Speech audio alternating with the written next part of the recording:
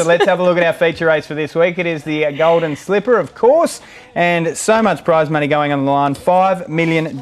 We're taking a look back at Sebring's Golden Slipper back in 2008, one of my favourite horses, and a near upset. I think that's Von Costa de Hero down the outside, steaming uh, towards victory, but just to be pipped by, of course, the purple with the white stars on the inside. And what success they have had with Gai over the years. Yes, and notable other winners, of course, Belle de Jour, Dance Hero, Miss Finland, Forensics, Sepoy, Kiamichi more recently, Farnan Stay Inside, and Fireburn. Vancouver Mossfun, it just goes on and on, doesn't it?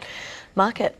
Let's have a look at it. Yeah. Cylinder three dollars ninety. Learning to fly six fifty. Red Resistance nine bucks. King's Gambit at nine. Don Corleone at ten, and Little Bros and Co at twelve or more. So, you're in charge. What are you doing? I am in charge. How exciting is that? Um, Arkansas Kid is who I'm tipping. He's not even on that first page. Uh, Mm. I think if you're going off the Blue Diamond form, you have to have him in the mix. And I think he's so far overs. And given that it's a golden slipper, I'm having a throw at the stumps. I think, yes, he's drawn maybe a bit sticky, but it's going to be a hot speed race. So if you can just sit off them, get a bit of good cover, and then stay out of trouble, why can't he win? Love it. Hmm. Okay, and I've been looking for horses outside of the favorite Mm-hmm. couple, and you think, you know, I think it was Lizzie saying to me yesterday, if it walks like a duck, swims like a duck, quacks like a duck, it's a duck. So Why do trying- we keep talking yeah. ourselves out of cylinder and learning to fly?